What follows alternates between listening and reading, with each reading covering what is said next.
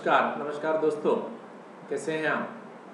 Theoretical distribution को और आगे बढ़ाते हुए पॉइजन डिस्ट्रीब्यूशन की बात कर रहे हैं। बाइनोमियल डिस्ट्रीब्यूशन ऑलरेडी डिस्कस हम लोग कर चुके हैं। आज डिस्क्रीट डिस्ट्रीब्यूशन का दूसरा पार्ट पॉइजन डिस्ट्रीब्यूशन तो आज के इस वीडियो में हम पॉइजन डिस्ट्रीब्यूशन को पहले समझेंगे। उसके बाद पॉइजन डिस्ट्रीब्यूशन पर बेस्ड कुछ प्रॉब्लम्स आपके साथ शेयर करेंगे। तो आइए स्टार्ट करते हैं with the Poisson distribution Poisson distribution क्या है? कहा गया it is the limiting case of binomial distribution binomial distribution हमने पढ़ा था, उस बाइनोमियल डिस्ट्रीब्यूशन के अंदर एन नंबर ऑफ़ ट्रायल्स होते थे। पी प्रोबेबिलिटी ऑफ़ सक्सेस होती थी क्यू प्रोबेबिलिटी ऑफ़ फेलियर होता था। लेकिन यहाँ उस बाइनोमियल डिस्ट्रीब्यूशन का लिमिटिंग केस है, जिसमें नंबर ऑफ़ ट्रायल्स जिसे आप एन से रिप्रेजेंट करते थे they are very large very large का मतलब है इन्फिनिटी ठीक है? यानी नंबर ऑफ़ ट्रायल्स बहुत ज़्यादा हो। Probability of success p is very small we are by very small very small का मतलब है कि that probability approach to zero तो एक चीज़ हमने बहुत लार्ज बताई, दूसरी चीज़ बहुत छोटी बताई तो जब उस बहुत बड़ी चीज़ और उस बहुत छोटी चीज़ का आप मल्टीपल करेंगे तो आपके पास एक हैंडसम सा रिज़ल्ट आ जाएगा, यानी एक फाइनाइट सा रिज़ल्ट आ जाएगा, जो कि बहुत बड़ा भी नहीं होगा, बहुत छोटा भी नहीं होगा तो उस कंडीशन में हमने बोला कि n into p that is m, और वो m आपके पास एक फाइनाइट क्वांटिटी होगी। ठीक है? तो अब अगर मैं बात करूँ कि let x be the number of successes be the number of successes. ठीक है? तो प्रोबेबिलिटी ऑफ़ एक्स अगर मैं कैलकुलेट करूँ तो मेरे पास प्रोबेबिलिटी ऑफ़ एक्स के लिए formula e raise to the power minus m m raise to the power x divided by x factorial जहाँ पर e two point seven one eight two eight two eight eight या कई places पर 2.7 भी use कर लेते हैं। 2.8 भी कई जगह लिखा हुआ मिल जाएगा आपको। तो कई प्रॉब्लम्स में आपको गिवन होता है। ठीक है? तो इन जनरल हम 2.71 के आसपास इसको यूज़ कर लेते हैं, या 2.7 बल्कि 2.8 नहीं 2.8 ज़्यादा हो गया ये। तो 2.71 या 2.72 हम लोग इसको अप्रोक्सीमेटली यूज़ किया करते हैं। ठीक है? तो जहाँ पर m को जो है ना वेयर यहाँ आप देख रहे हैं, n इंटू पी को हमने m बोला। M is called the parameter m is called parameter. Binomial distribution का अगर आपने वीडियो बड़े ध्यान से देखा हो तो उसके अंदर एन और पी दो पैरामीटर्स हम लोग यूज़ किया करते थे। तो यहाँ पर केवल एक ही पैरामीटर जिसे एम बोला हमने तो एम इज़ द पैरामीटर यानी एक सिंगल पैरामीटर होने के कारण हम क्या बोलते हैं इसको? यूनी पैरामीटर यूनी पैरामीटर या यूनी पैरामीट्रिक वो बाई पैरामीट्रिक था bi binomial distribution this is uni parametric this is uni parametric uni का मतलब होता है वन सिंगल तो अब यहाँ पर केवल एक ही पैरामीटर हमने एम यूज़ कर रहे हैं, इसलिए हम इसको यूनी पैरामीट्रिक बोल रहे हैं। अब बात करूँ मीन की। Mean of Poisson distribution mean binomial distribution के केस में होता था एन एन टू पी यहाँ भी यही मान करके चलो एन एन टू पी होता है. या कह दीजिए simply n n to p को क्या बोला आपने? दैट इज़ एन और अगर मैं इसके वेरिएंस की बात करूँ तो मीन के साथ साथ वेरिएंस भी, जिसे हम सिग्मा स्क्वायर से रिप्रेजेंट करते हैं उसका रिज़ल्ट भी एम के बराबर होता है। और स्टैंडर्ड एविएशन तो बताना नहीं पड़ेगा जी आपको स्टैंडर्ड एविएशन वेरिएंस का अंडर द रूट होता है। इसलिए standard deviation root of m के इक्वलेंट हो जाता है ठीक है? अब यहीं साथ साथ डिस्कशन हम मॉड के बारे में भी कर लेते हैं। कि मॉड वैल्यू जो होती है, वो किस पर डिपेंड करती है? वो भी इसी एम पर डिपेंड करती है। तो अब इस मॉड का जो रिज़ल्ट है, हमारे पास एम अगर मेरे पास एक इंटीजर है, यानी आप बोलते हैं कि इफ़ एम इज़ इंटीजर तो उस कंडीशन में एम और m minus one are two modes ठीक है? यानी m अगर आपके पास एक पूरी वैल्यू है तो एक m और एक m से एक कम करके जो भी रिज़ल्ट आएगा that is called the mode लेकिन दूसरा case if m is not an integer m अगर आपके पास एक इंटीजर नहीं है, यानी एक फ्रैक्शन वाली वैल्यू है तो उसमें आपके पास लार्जेस्ट इंटीजर जो होगा that is the mode largest integer is the mode मान लीजिए आपके पास m की वैल्यू आई 5.75 तो हमारे पास जो लार्जेस्ट इंटीजर इसमें दिख रहा है दैट इज़ 5 तो मॉड की वैल्यू आपके पास उसी लार्जेस्ट इंटीजर को, यानी बड़ी से बड़ी इंटीग्रल वैल्यू यानी बड़ी से बड़ी पूरी वैल्यू जो यहाँ दिखाई दे रही है इसमें वो हो जाएगी मॉड करेक्ट कुछ बातें समझ में आ गई? इन पर बेस प्रॉब्लम्स करेंगे अभी हम? अब एक प्रॉपर्टी और लिखी है मैंने। That is the additive property that is the additive property मान लीजिए, दो रैंडम वेरिएबल हम लोग सपोज़ कर लेते हैं। और दोनों के दोनों पॉइजन डिस्ट्रीब्यूशन को ऑबे करते हैं। एक का पैरामीटर m1 है, दूसरे का पैरामीटर m2 है, ठीक है? और साथ ही साथ this x and y are independent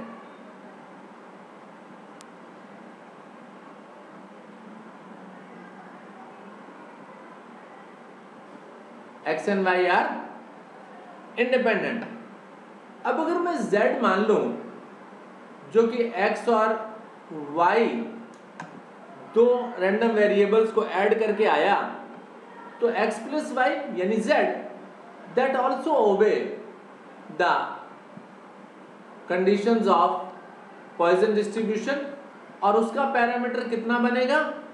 Simply m one plus m two m one plus m two will be the parameter of z, which is obtained by adding the two random variables x and y. Is it fine तो ये कुछ basic things थी, जो मुझे आपके साथ पहले discussion की, करनी थी।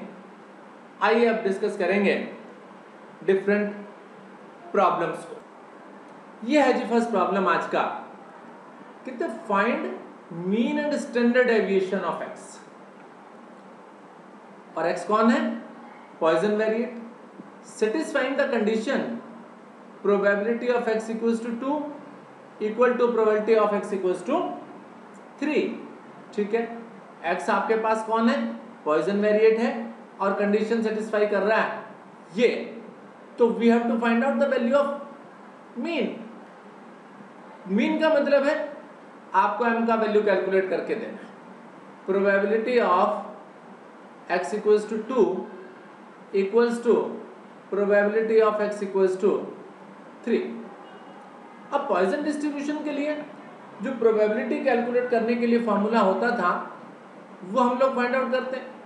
E raise to the power minus m m raise to the power x x की वैल्यू यहाँ पर टू अपॉन में two factorial e raise to the power minus m m raise to the power three upon में three factorial बस simple है। E to the power m दोनों side से cancel हो गया। ये कैंसिल कर दीजिए। एम स्क्वायर यहाँ से कैंसिल कीजिए क्या बच गया यहाँ पर। तो ये रह गया मेरे पास one upon two this is m this is six three factorial three factorial को थ्री इंटू टू हमने किया। ठीक है? तो हमारे पास कितना आ गया? M is equal to six upon two which is three m का वैल्यू आते ही मुझे समझ में आ गया कि मीन का value that is equal to three mean of the Poisson distribution that was m and m is equals to 3 it mean mean is also equals to 3 second thing था मेरे पास standard deviation standard deviation of Poisson distribution is root m root m का मतलब root 3 and root 3 is 1.73 दोनों चीज़ें आ गई मेरे पास mean as well as standard deviation Poisson distribution के लिए. इज़ इट फाइन ठीक.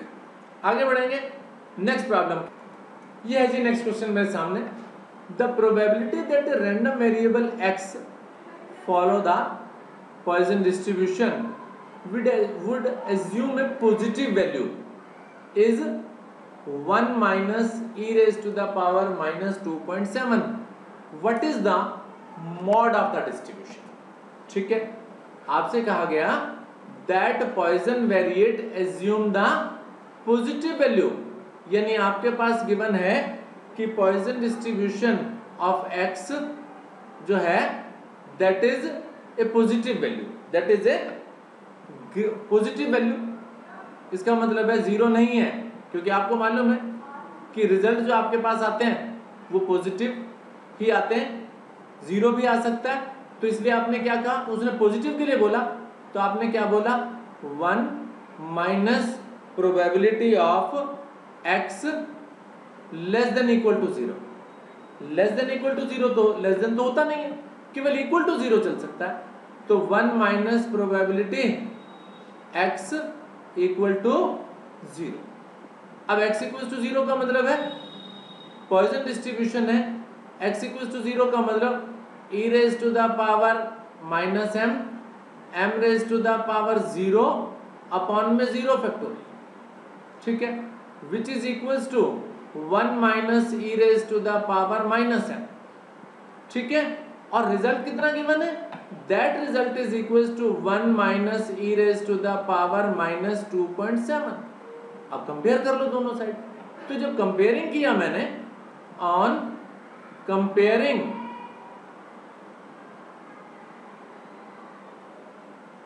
आपके पास क्या आया? M is equal to two point seven ठीक है? एम का वैल्यू निकल आया।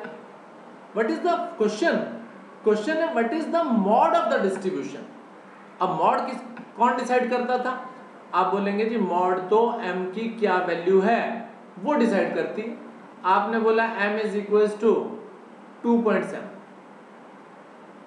which is non integer non integer अब नॉन इंटीजर होता है तो आप फ्रैक्शन वाले पार्ट को छोड़ देते हैं, जो इंटीग्रल पार्ट होता है, जो पूरी पूरी वैल्यू होती है, वो मॉड बन जाता है तो therefore mode is equal to two ठीक है?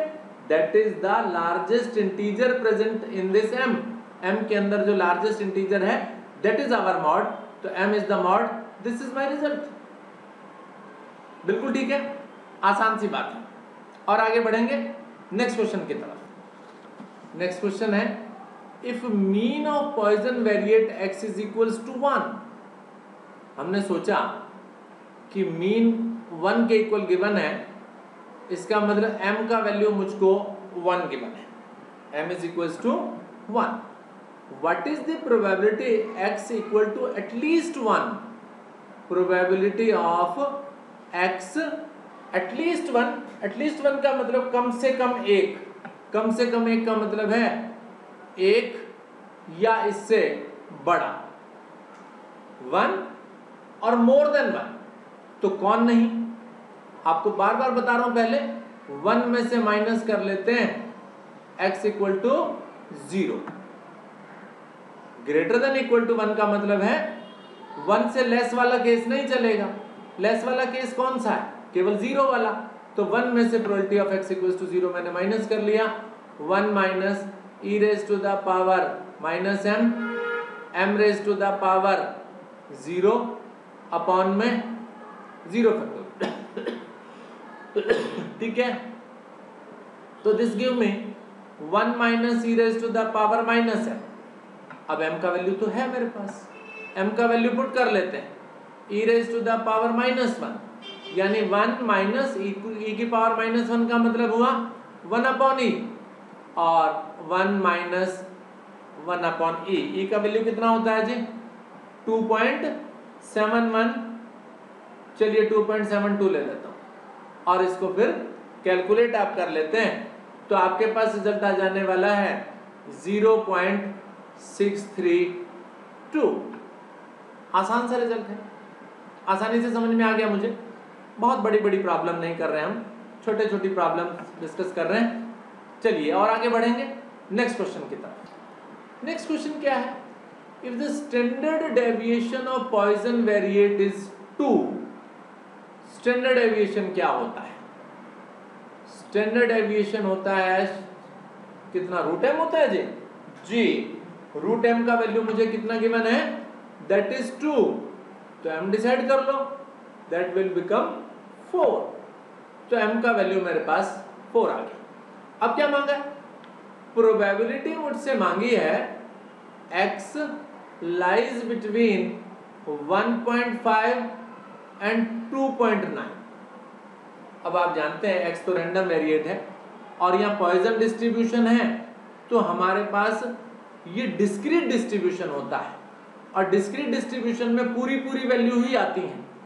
1.5 और 2.9 के बीच में जो पूरी वैल्यू मेरे पास आने वाली है, वो आने वाली है x is equal to two only ठीक है? यानी 1.5 से शुरू करेंगे 2.9 तक जाएँगे तो पूरी वैल्यू केवल एक ही एग्जिस्ट करेगी and that is equal to two तो कहने का सीधा मतलब क्या हुआ? कि मुझसे probability of x equal to two मांग लिया गया जी। e raise to the power minus M M raise to the power two upon में टू फैक्टर करेक्ट m का वैल्यू है आपके पास। E raise to the power minus four four to the power two upon two factor correct तो आपके पास आ गया सिक्सटीन अपॉन टू ये एट हो गया और अपॉन में e to the power four eight divided by E to the power four which gives me e की पावर फोर यानी टू पॉइंट सेवन वन को अगर मैं फोर टाइम्स मल्टीप्लाई करूँगा तो फोर टाइम्स मल्टीप्लाई करने पर मेरे पास कितना आ जाएगा? Fifty four point five nine eight तो eight divided by this that gives me zero point one four four के आसपास। ठीक है? तो it mean the result is the fourth one ठीक है? इसको आप सॉल्व कर सकते हैं। इज़ इट फाइन बिल्कुल ठीक। Next is if X obey the Poisson distribution with parameter M and the coefficient of variation is fifty coefficient of variation मुझे समझना पड़ेगा पहले। चलिए, कोई बात नहीं। What is the probability that X would assume only non zero values X would assume non zero values ठीक है? अब आइए सबसे पहले तो ये जो कोफिशियंट ऑफ़ वेरिएशन की बात वो करता है, उसको समझने की कोशिश करते हैं। कोफिशियंट ऑफ़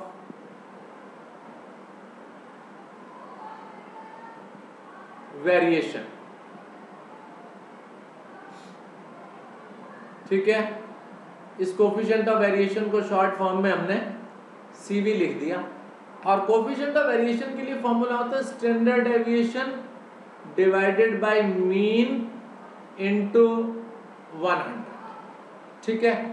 और वो कोफिशियंट ऑफ़ वेरिएशन मुझे गिवन है फिफ्टी के अब बात चल रही है यहाँ पॉइजन डिस्ट्रीब्यूशन की।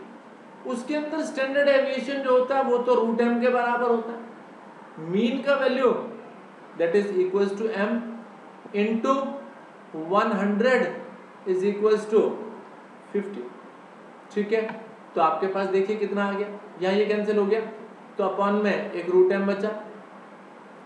Is equal is equal to fifty upon में hundred that is equal to two यानी दोनों साइड से root M is equal to two आ गया। Root M is equal to two it mean M is equal to four M decide होते Poisson distribution की कोई problem नहीं रह जाती। अब क्या पूछा?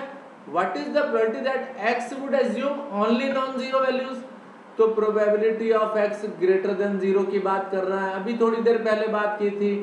One minus probability of X equal to zero one में से माइनस कर लीजिए। One minus E raise to the power zero E raise to the power sorry just E to the power minus M M raise to the power zero upon में zero factorial M का value कितना है? M is equal to four ठीक है? One minus E raise to the power minus four तो कितना आ गया? One minus one upon E की पावर फोर, ये मेरे पास इसका रिज़ल्ट आ जाने वाला है। ठीक है? थोड़ा सिंप्लीफाई करके पूरा कंफर्म करते हैं आंसर कितना होगा।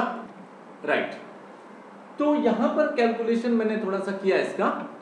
तो कैलकुलेशन करके मेरे पास जो रिज़ल्ट आया this is one minus E raise to the power four को जब मैंने कैलकुलेट किया तो ये मेरे पास आया fifty three point nine three five और one divided by this that gives me zero point zero